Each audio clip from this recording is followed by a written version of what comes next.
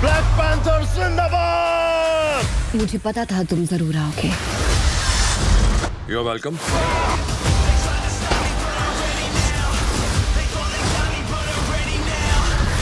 हम अब तक की बेस्ट टीम खड़ी कर सकते हैं। तुम्हारे अंदर एक पागलपन है उसे अपना लो। तो हो जाए।